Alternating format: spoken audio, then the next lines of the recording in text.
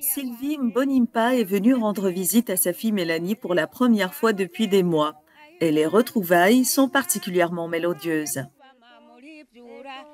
La vieille dame chante ses questions. Tout va bien ici à la maison? Ton mari se porte bien? Mélanie répond simplement oui à chaque affirmation.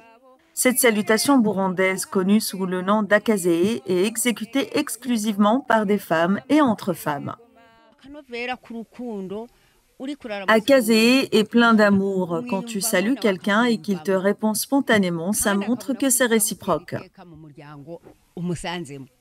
Ces salutations permettent de tisser des liens affectifs puissants.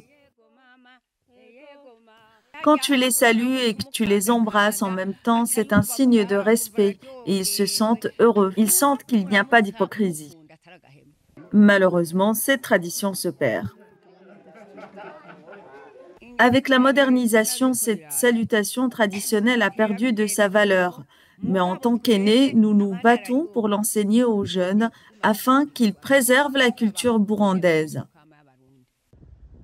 La modernisation et les mesures de santé publique ont progressivement entraîné la diminution de sa pratique.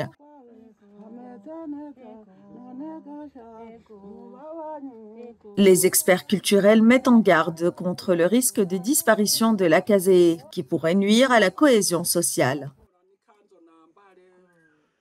Les jeunes générations d'aujourd'hui ne s'intéressent pas à l'akazé et par conséquent, aujourd'hui, nous n'avons plus le genre d'amour pur que nos mères ressentaient avec leurs filles, leurs voisins et leurs amis à l'époque.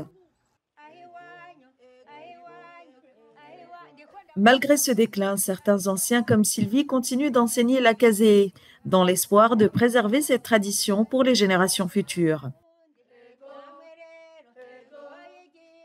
Cette pratique reste une source importante de bien-être pour les femmes touchées par l'instabilité politique et par les guerres civiles.